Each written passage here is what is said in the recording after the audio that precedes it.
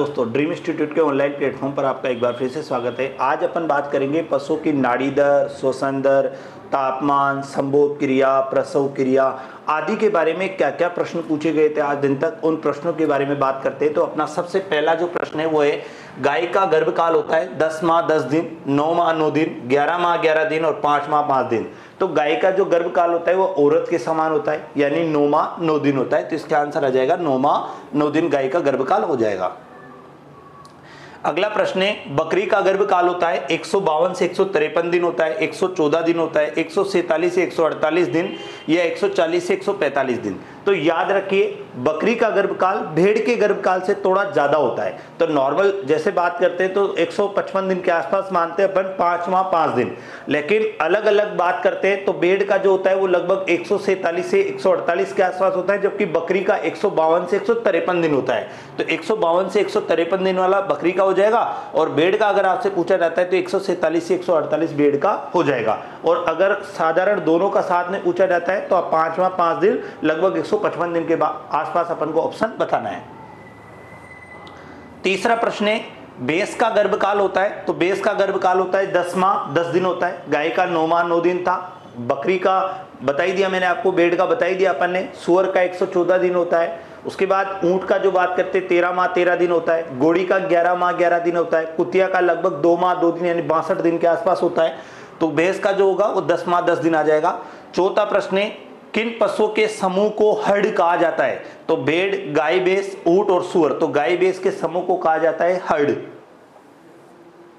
बद्याकरण नर बेड को क्या कहते हैं? जिस नरबेड का बद्याकरण कर दिया जाता है, उसे क्या कहते हैं? उसे विडर भी कहते हैं और रंट भी कहते हैं। याद रखना, विडर भी कहते हैं और रंट भी कहते हैं। लेकिन अगर विडर ऑप्शन में नहीं हो तो विथर भी बोलते हैं, लेकिन विडर अगर ऑप्शन में होता है तो विडर या रंट भी बोलते हैं। R U N T runt भी उसको बोला जाता है तो विडर या रेंट हो जाएगा। बद्याकरण नर। फ्लोक कहलाता है तो मुर्गी वो बेड का समूह फ्लोक कहलाता है। याद रखना, मुर्गी का समूह भी फ्लोक कहलाता है और बेड का समूह भी फ्लोक कहलाता है। तो ए वाला ऑप्शन राइट हो जाएगा। अगला देखिए, सातवां, ड्रो किस पशु का समूह कहलाता है? ड्रो। तो ड्रो कहलाता है, सुअर का समूह ड्रो कहलाता है। सुअर का समूह ड्रो कहला रहा था, मुर्गी और बेड का जो समूह था वो फ्लोक कहला रहा था। तो ये सुअर हो जाएगा ड्रो। बद्याकृत किया हुआ मुर्गा क्या कहलाता है? तो बद्याकृत जो किया हुआ जो मुर्गा होता है, वो केपन कहलाता है। ये याद रखना है बद्याकृत किया हुआ मुर्गा केपन कहलाता है। ऑप्शन आपके सामने आ जाएँगे क्या क्या आएँगे वो देख लो आप।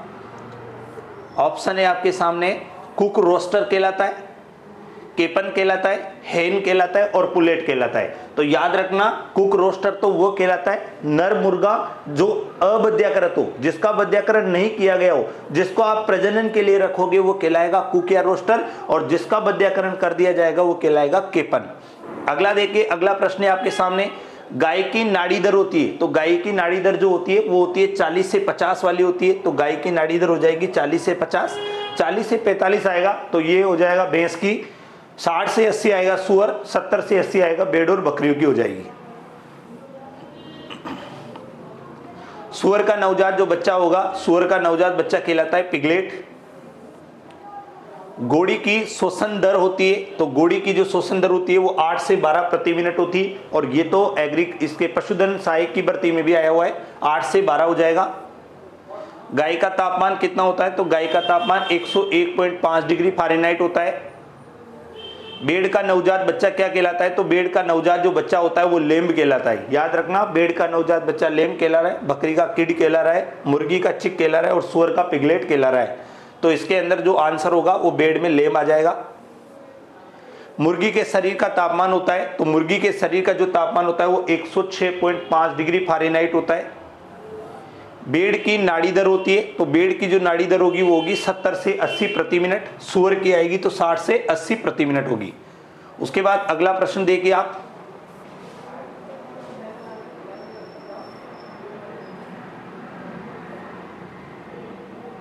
सुअर की नाड़ी दर ही पूछ ली तो सुअर की नाड़ी दर आ जाएगी 60 से 80 प्रति मिनट। बेड का गर्भकाल कितना होता है? तो बेड का गर्भकाल मैंने आपको बताया, बकरी के गर्भकाल से छोटा यानी एक से 148 दिन आंसर हो जाएगा। टपिंग की क्रिया किसकी संभोग क्रिया को कहते हैं? तो बेड की संभोग क्रिया को टपिंग कहते हैं, जबकि गाय की, बकरी की, इनकी सबकी जो सब होती है उसको सर्विंग बोला जाता है, ऊँट वाली को कैपोलेशन बोलते हैं। तो इस वाले का उत्तर हो जाएगा बेड, टपिंग। अगला प्रश्न देखिए, निम्न को सुमिलित करना है आपको। जो आपके सामने प्रश्न है, निम्न को सुमिलित करना है। तो सुमिलित कीजिए, सुमिलित कैसे करोगे वो आप देख लो। सुमिलित करने के लिए गोवंश से तो गोवंश की हो जाएगी यानी सर्विंग, यानी पहले के अंदर हो गया सी। सुअर की इनके अंदर हो जाएगी, सुअर वाली की कपलिंग हो जाएगी तो यानी कि पहले, दूसरे के अंदर हो गया बी। और तीसरे में ऊँट आ रहा है, यानी कैपोलेशन हो जाएगा, यानी तीसरे के अंदर हो गया ए। तो देखिए सी बी ए और किसी में ऑप्शन आ रहा है तो सी बी ए ऑप्शन आ रहा है तो इसका जो फाइनल उत्तर हो जाएगा, वो बी राइट हो जाएगा। उसके बाद आगे बढ़िए बी से प्रश्न में। बीसवा प्रश्न, बेड बेडो बकरी का तापमान होता है तो बेड बेडो जो बकरी का तापमान होता है, वो 102.5 डिग्री फारेनहाइट होता है। गाय का पूछते तो 101.5 डिग्री फारेनहाइट मुर्गी का पूछते तो 106.5 डिग्री फारेनहाइट और घोड़े का पूछते तो 100.5 डिग्री फारेनहाइट हो जाता। अगला देखिए, इक्कीसवें नंबर का लेम्बिंग का संबंध किससे? तो लेम्बिंग का संबंध बेड से। बेड की प्रसव क्रिया को लेम्बिंग कहा जाता है। बेस की नाड़ी दर बताइए। तो बेस की नाड़ी दर होती है 40 से 45 प्रति मिनट, जबकि गाय की होती है 40 से 50 प्रति मिनट। तो बाईसवें प्रश्न का जो उत्तर था, वो हो जाएगा 40 से देखो 40 से 45 वाला हो जाएगा, भैंस में नाड़ी दर 40 से 45 अगर गाय में पूछते तो 40 से 50 सुअर वाली मैंने आपको बताई दिया अभी। सुअर वाली अगर वो अपन से पूछते तो सुअर वाली बताते अपन 60 से 80 बेड का, बकरी का पूछते तो वो बताते अपन 70 से 80 ऊँट की श्वसन दर होती है तो ऊँट की श्वसन दर होती है पाँच से सात प्रति मिनट। पशुओं में तापमान कौन से अंग से ज्ञात किया जाता है? पशुओं में तापमान ज्ञात किया जाता है गुदा क्षेत्र से अगर आप किसी कारणवश गुदा क्षेत्र से तापमान ज्ञात नहीं कर पा रहे हो तो फिर आपको योनि से तापमान ज्ञात करना पड़ता है। तो ये गुदा क्षेत्र आ जाएगा। ऊँट को मुख्यतः किसके आधार पर विभाजन किया गया है? तो ऊँट को कुबड़ के आधार पर विभाजन किया गया है। एक कुबड़ वाला, दो कुबड़ वाला और क्षेत्र भी मान सकते हो, अगर ऐसा कोई ऑप्शन में कुबड़ के अलावा क्षेत्र वाला ऑप्शन में नहीं हो तो कोई बात है ही नहीं। लेकिन अगर कुबड़ और क्षेत्र दोनों आते हैं तो क्योंकि दो प्रकार के होते हैं। एक एशियन ऊँट होता है और एक अरेबियन ऊँट होता है। तो ये भी अपन मान सकते हैं। और तो इसके अंदर कौन सा ऑप्शन राइट होगा वो देखते हैं। ऊँट को मुख्यतः किसके आधार पर? तो दूध उत्पादन के आधार पर नहीं, गुणसूत्रों के आधार पर नहीं, कुबड़ के आधार पर, कुबड़ और क्षेत्र के आधार पर। तो देखो, इसके अंदर अपन कुबड़ को ही ज़्यादा प्राथमिकता देंगे, क्योंकि सबसे पहला कुबड़ है। अगर कुबड़ ऑप्शन में नहीं होता ये दोनों साथ में होते तो फिर दोनों मानते।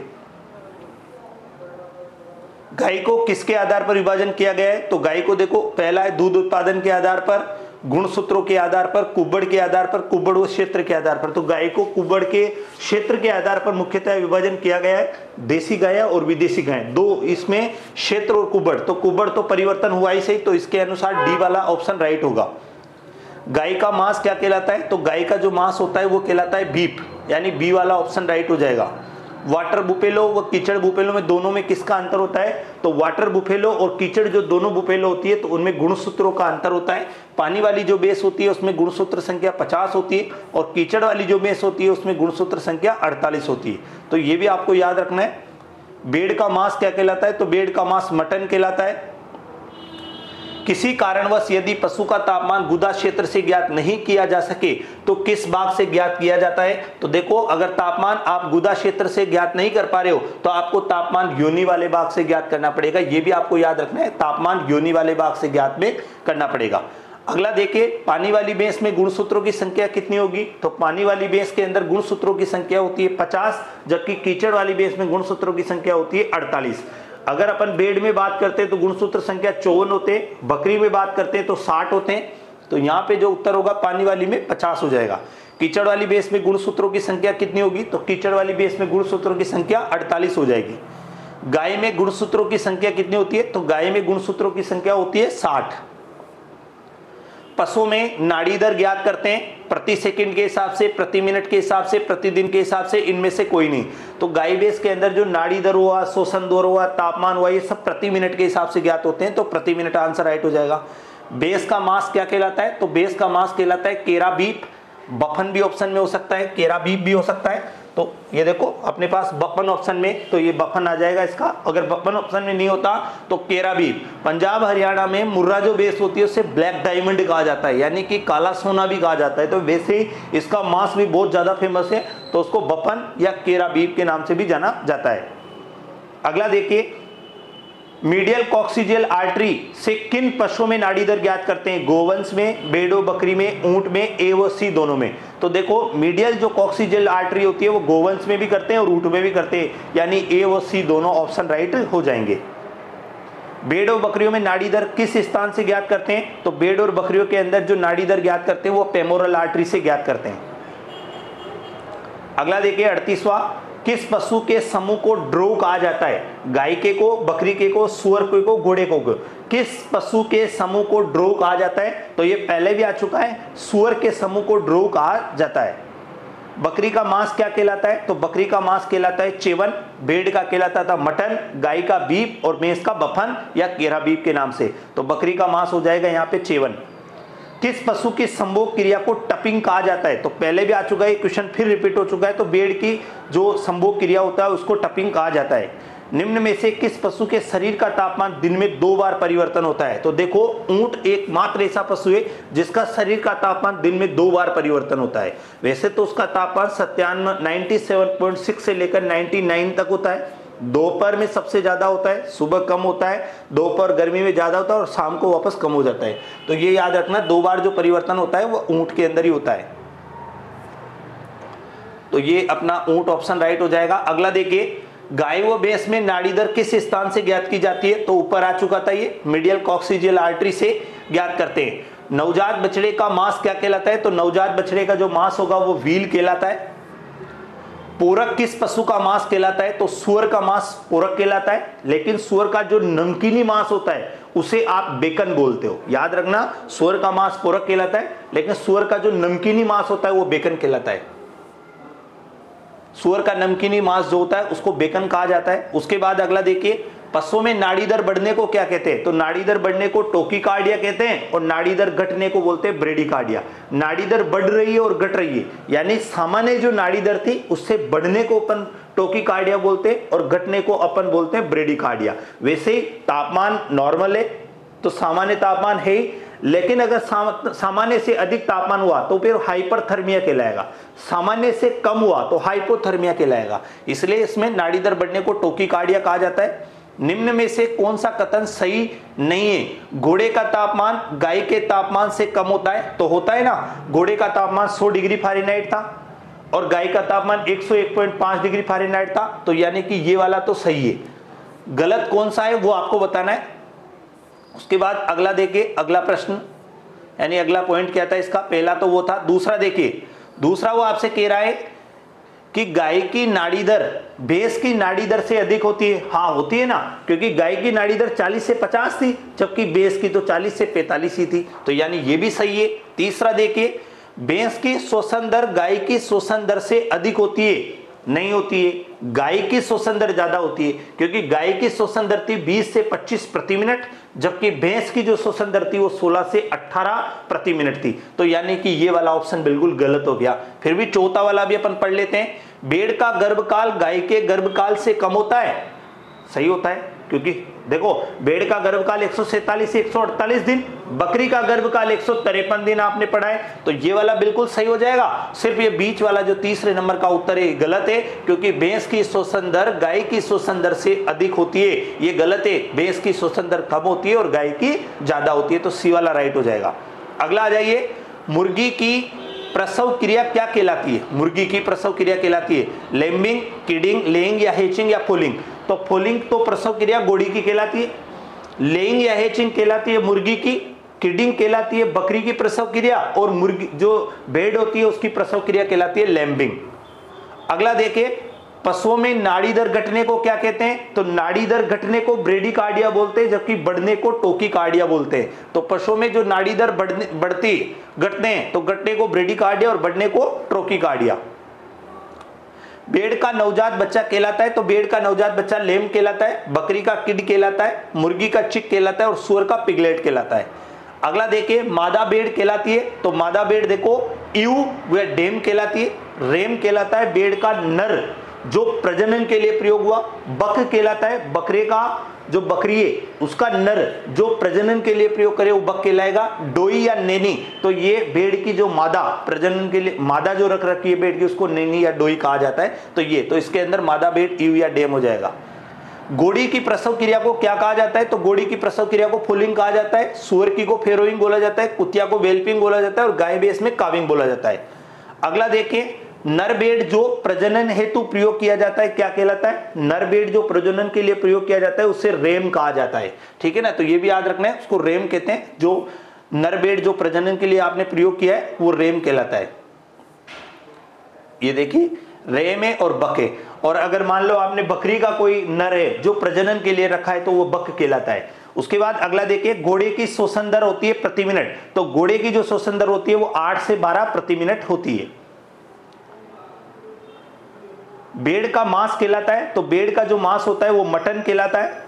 बेड़ की प्रसव क्रिया क्या कहलाती है? तो लैम्बिंग और पहले भी आया हुआ है कि लैम्बिंग का संबंध किससे किस पशु की मादा को सा या गिल्ट कहा जाता है? तो जो सुअर होता है, उसकी मादा को सा या गिल्ट कहा जाता है। घोड़ी की मादा को मेयर कहा जाता है। मुर्गी है तो मुर्गी की जो मादा होती है, उसको हेन या पुल्लेट कहा जाता है। बकरी की जो मादा है, उसे नैनी या डोई कहा जाता है। मादा बकरी को क्या जाओगे? नैनी या डोई के नाम से जाना जाता है। ईव या डेम भेड़ वाला हो गया। स्टेलिन स्टड नर घोड़ा जो प्रजनन के लिए प्रयोग होगा, वो स्टेलिन स्टड कहलाएगा। मेया ऊँट जो प्रजनन के लिए रखा जाएगा, वो मेया कहलाता है। ऊँट जो प्रजनन वाला होगा मेया कहलाएगा। कुतिया की प्रसव क्रिया को क्या बोलेंगे? तो कुतिया की जो प्रसव क्रिया होती है, उसको वेल्पिंग बोला जाता है। सुअर की प्रसव क्रिया को क्या बोलेंगे? तो सुअर की प्रसव क्रिया को बोला जाता है फेरोविंग सुअर की जो प्रसव क्रिया होती है, उसको फेरोविंग के नाम से जाना जाता है। तो ये आपके सामने फेरोविंग आ चुका है। बकरी की प्रसव क्रिया क्या कहलाती है? तो बकरी की प्रसव क्रिया किडिंग कहलाती है। निम्न में से किस पशु की शोषण दर सबसे कम होती है? तो देखिए, गाय भी आपके पास है, भैंस भी है, भेड़ो, बकरी भी और घोड़ा भी। इनमें से सबसे कम जो शोषण दर होगी वो किसकी होगी? गाय की शोषण दर तो हो रही थी 20 से 25 घोड़े की बेस की हो रही थी 16 से 18 भेड़ और बकरियों की 12 से 20 घोड़े की हो रही थी 8 से 12 तो इसके अंदर घोड़ा राइट हो जाएगा क्योंकि सबसे कम घोड़े की होती है। ऊँट में अबद्याकृत नर प्रजनन योग्य कहलाता है तो वह कहलाता है मैया। ये लास्ट वाला कहलाता है मैया। मैया आ गया। नर बकरा जो प्रजनन अबद्याकृत नर जो काम में आता है, वो क्या कहलाता है? तो नर जो बकरा होता है, जो प्रजनन के लिए रखा जाता है, वो बक कहलाता है। नर घोड़ा जो प्रजनन का काम करता है, वो क्या कहलाता है? तो स्टेलियन स्टड, ये पहले भी आ चुका है। तो ये अपने पहले जो, इसके जो सबसे महत्वपूर्ण प्रश्न थे, उनके बारे में अपन ने बात किया।